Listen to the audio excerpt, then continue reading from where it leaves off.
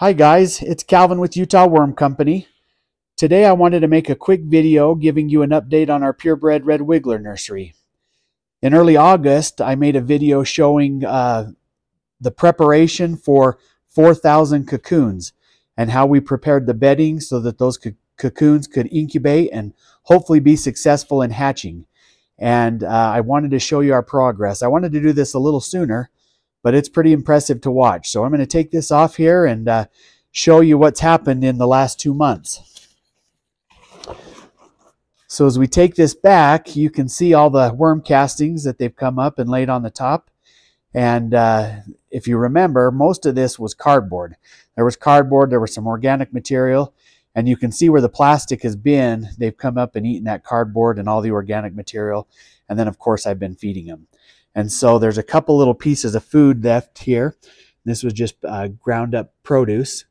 And we're going to lift this up and see if we can find a worm ball in there. And sure enough, there we are.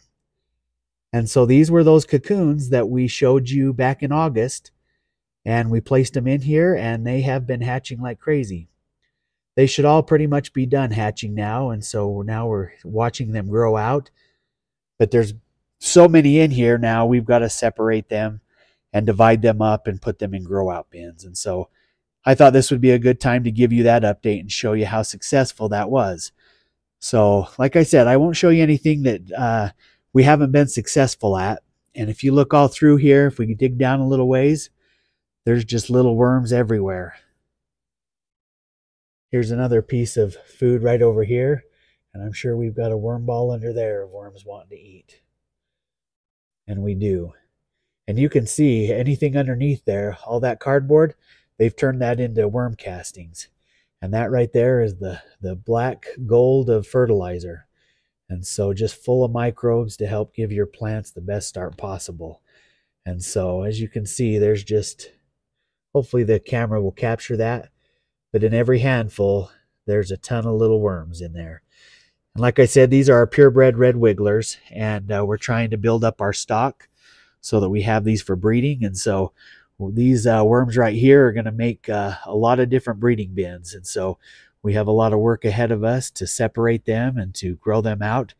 And uh, once they start to to uh, make it to sexual maturity, when they start to grow the clitellum, the band around them there, uh, that's when we know that they're ready to or they have the the possibility of uh, producing cocoons and mating.